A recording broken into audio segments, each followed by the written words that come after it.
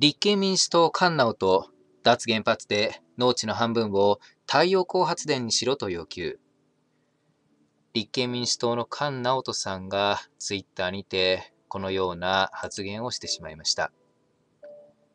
農地の半分を太陽光発電にすれば、電力は、日本の電力は賄えると主張してるんですが、菅直人さん、そもそもですね、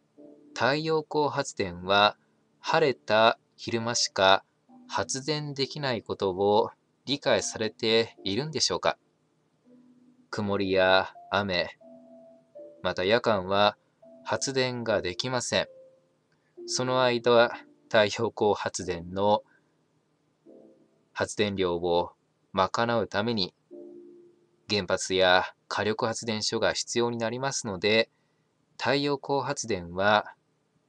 既存の発電所の代わりにはならないんです。また災害にも弱く暴風や水害などにおいて太陽光パネルが飛ばされたり浸水したりまた太陽光パネルそのものが土砂崩れや火災の原因になってしまっております。さらにそもそも日本各地で日照時間も違いますので、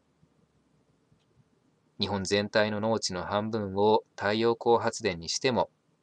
同じように発電はできません。また、太陽光パネルの寿命はたった10年であり、有害物質が含まれるパネルを適切に処分しなければ、土壌汚染などが発生する恐れもございます。菅直人さん、せめて日本で再生可能エネルギーを利用するべきだと主張するのであれば、ダムを作り、水力発電を行うとか、地熱発電とか、海の流れを利用する海流発電とか、木、木材を燃やす、バイオマス発電を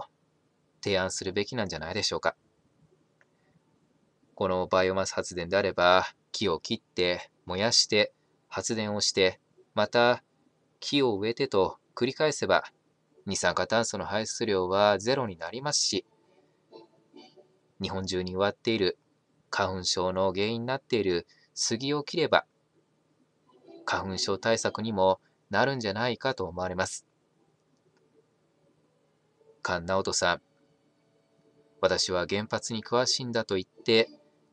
原発を爆発させておられますが、ぜひとも日本のエネルギー政策について、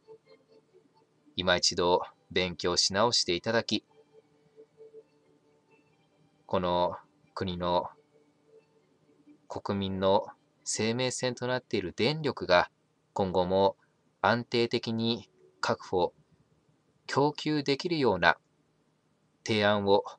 行っていただくようにお願いいたします。